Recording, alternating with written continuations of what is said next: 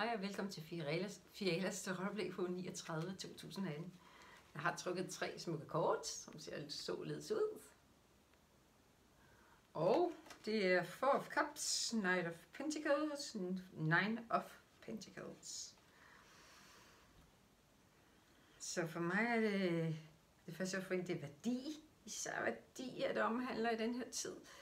Og det handler også om, at måske for, øhm, der er noget værdi, som du endnu ikke har set, som mangler i dit liv. Værdi, øhm, som rører dit hjerte, eller som får hjertet endnu mere i samspil med det liv, du har bygget. Nogle har værdier på nogle forskellige områder i livet, som balancerer okay, øhm, som er opbyggende, som er konstruktiv, glædelig, kærlig. Øhm, men der er også noget, som stadig hænger hos en del. Det kan være et område, det kan være et basalt område, men det kan også være, som om der ligger noget ude i horisonten, som endnu ikke er blevet indset eller set. Du skal trække dig selv øh, mere i den tid hen i, i fordybelse, via kreativitet, læsning, Øhm, eller hvad du kan lide at lave. Det kan også være naturen. Gå nogle ture for dig selv i ro og mag. Ikke, noget musik, ikke noget musik i ørerne eller noget. Det er som om, der skal noget, noget stillhed ind over for at kunne høre de vigtige budskaber i denne tid. Der er vigtige budskaber for universet. Og det er som om, at jeg skal beskrive det egentlig, at, at det blå hav er ved at blive lidt mere grønt. Det vil sige, at manifestet og kærlighedslivet begynder at forene sig. Og det kan skabe mirakler. Det kan skabe store store mulighed for at for, jamen, og både forene, både familielivet, glæden der, men også dine talenter og alt det, du har gået og arbejdet med og på og i. Og hvis du ikke har så meget, haft så meget i gang, så er det nu, at det virkelig er dig selv værdigt at få valgt og truffet nogle gode muligheder i at rejse videre via dig selv, via dine evner, via dine talenter, via ting i dit liv, der bidrager, via at bo det rigtige sted, øh, omring dig med de rigtige mennesker, have mm, en masse ting, du kan lide at omgive dig med, lave, præstere noget i, øve noget i, skabe en forskel i. Der er en masse skaberenergi, men også en tid til at være alene, fordi det er her, du mærker det. Prioriter dig selv i den her tid. Prioriter din mulighed i at mærke dit eget lys. Mærk friheden via lyset. Mærk din indstilling til livet i lyset. Om hvor nemt livet føles, selvom der også er modstand eller modgang, når du står i lyset det, det, der kan du mærke forskellen. Du kan mærke, at ja, fordi du har også nogle områder, der balancerer. Nu kan du bare få skabt endnu mere på de andre, som ikke gør, eller som du måske slet ikke har taget til dig, eller som du måske slet ikke arbejder med nu. I manifestet, i drømmene, i følelserne, i hjertet. Alt skal ske i hjertet og med hjertet forrest. Så tager vi Knight of Pentacles. Han står også ud i alt det grønne. Naturen grounding.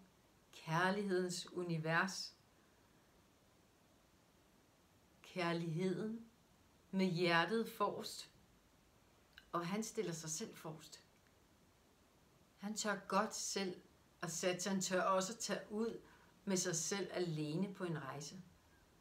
Han vælger sig selv til. Selvom man har en partner måske, selvom man har en familie, han skal tage hensyn til, selvom han har et job, som tager mange af hans timer i dagtimen, så vælger han sig selv også om aftenen, natten, eller hvornår han kan finde tid. tiden skal prioriteres herfra. Tiden er det, den der kan slå alle menneskers liv ihjel, skal jeg sige. Tiden kan løbe fra dig. Tiden kan være sådan, at den slet ikke bliver brugt.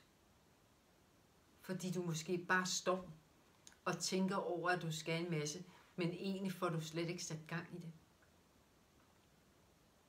Så arbejde lidt med tiden øh, i forhold til, at i stedet for at slås med tiden, så vend tanken om tiden til et positivt element, en positiv energi, en, at give den kærlighed i stedet for.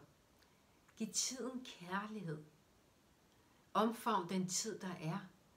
Hver gang du får lyst, hver gang du mærker, du har behov for at omfavne tiden og være i nuet. Det er ikke, altså, du skal fremad, du skal ud og udleve din mission, du skal opnå, du skal være der for andre, men det er ikke sådan, at du altid skal være på. Tiden har brug for, at du omfavner dig selv, og at du omfavner tiden i ikke at tænke hele tiden, at jeg skal nå en masse, eller lige om lidt, så bliver jeg gammel, og så kan jeg ikke. Vær i nuet, elsk nuet. Mærk i hjertet i dag, hvad der er godt for dig. Hvad kan du udleve, hvad kan du opnå, hvad kan du nå at skabe i dag, som gør, at dagen din føltes fantastisk, rar, eller måske bare det gav dig en god oplevelse, eller du fik skabt noget på en anden måde. Der er mange følelser, som gør hele livet værd at leve.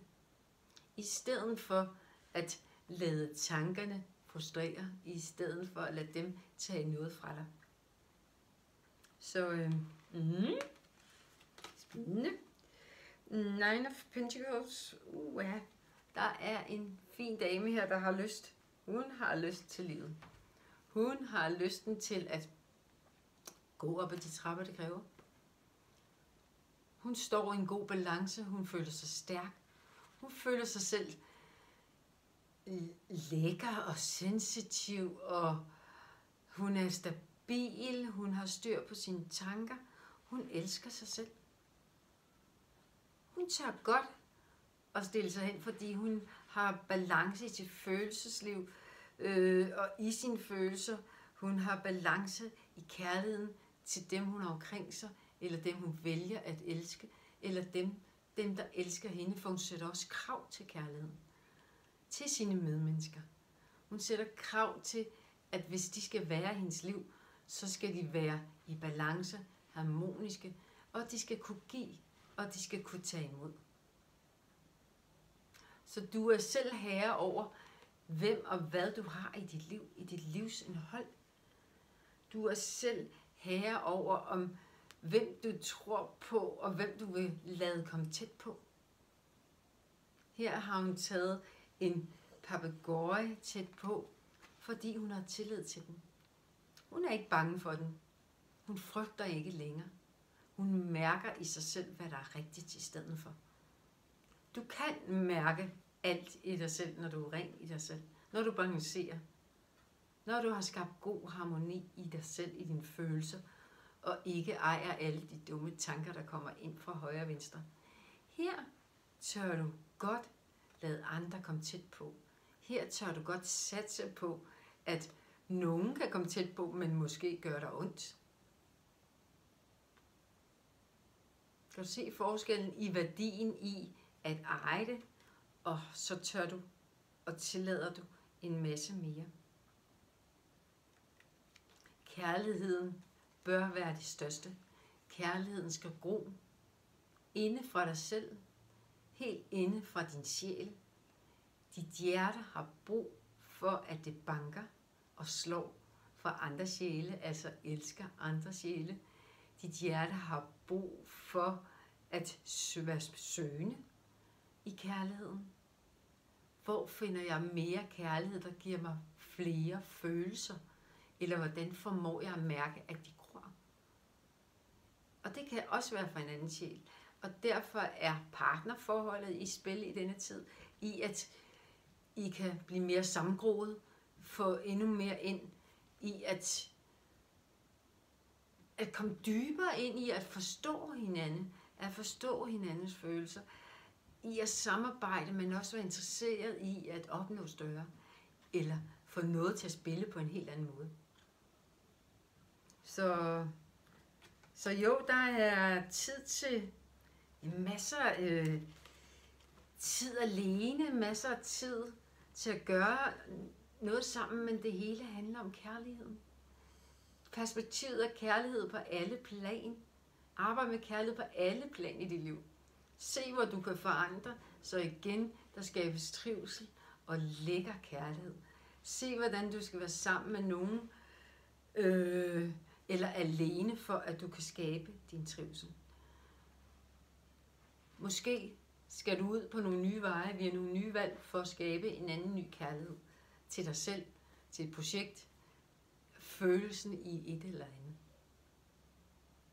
Så en rigtig god uge, og jeg håber, I får formået at tage kærligheden helt ind i den uge og fremadrettet. Vi ses i næste uge.